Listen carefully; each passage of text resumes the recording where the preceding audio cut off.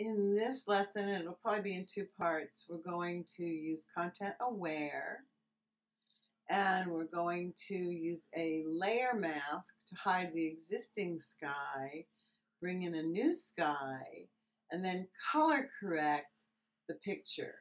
I want to make sure I give the proper attribution to Dennis Jarvis. This is in Cambodia. I got this from Creative Commons. So now what I like to do with some of these is make a. Uh, am going to unlock the background, I'm, call it, name it Cambodia. Fun to go there. I'm going to make a copy of Cambodia and I'm going to take both the attribution and the copy and put it in a layer, new group from layers. They're both selected, they'll both go in there, and I'm just going to call it backup. So I'm going to move this down below here, turn off the eyeball. I believe I want to get rid of these tall palm trees. That'll be my goal here. So I'm going to use the polygon lasso around this palm tree and go to edit.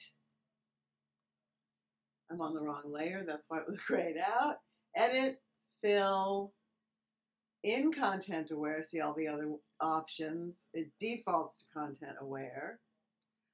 And then I'm going to deselect, Command D. I'm going to get this other palm tree. Maybe I should zoom in a little bit close to the building. I'm not going to get all this.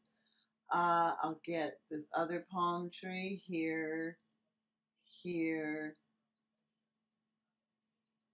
There we go. And there's my little circle. I missed it again. I'll hold the Command key Control on a PC. Edit. Fill. Content aware. Gone. And then again, I'm going to do it in the water, the reflection.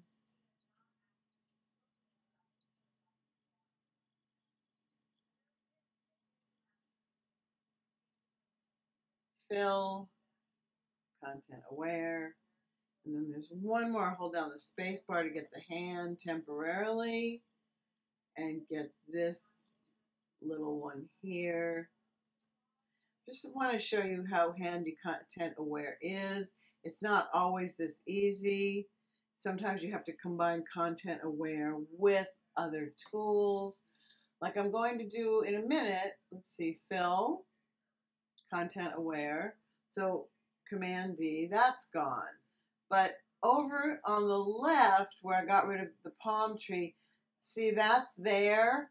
What I'm going to do, that, that rest of the palm trees there kind of interfering with the roof line. So I'm going to go here. I'm going to go Command J.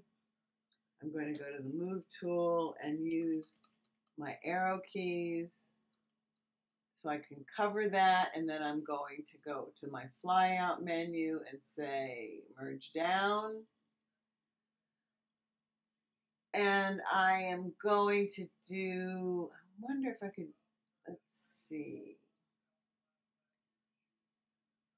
I'm going to do the same thing over here.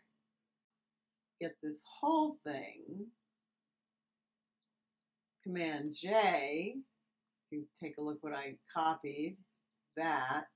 I'm going to go to the move tool and I'm going to move this over to there. And I almost, I think that actually looks better than what I had. Yeah, I'd say that's a little better. Um, I'd like the corners to be a tiny bit soft. Oh no, I think they're fine, actually um, Command E.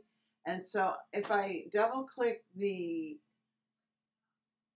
magnifying glass, it's fit on screen. So we've gotten rid of those tall palm trees. Um, I actually want to, one more. This one's going to be in my way when I do the uh, sky, and I'd rather focus on the sky. So I'm going to get rid of that one too. Fill, don't forget I have a backup. Okay. Up, that didn't work. So I have to go further up. Let's see what happens here. Fill, content aware, that was better. And over here, I'm going to add a layer and do a non-destructive cloning. Whoa, that's big brush. In fact, why even bother? I'm going to throw this out. I'm going to get my rectangular marquee, do a Command J, go to my Move tool, Shift, so it goes down. There we go. And done. Command E to merge, and that's gone. Double click, and now I've got rid, rid of things that are going to interfere with me doing the sky. There's going to be some tricky stuff over here, but that will be our next lesson. With we'll do a layer mask. It'll be this is Cambodia one. The next one or content aware Cambodia, and so the next one will be number two.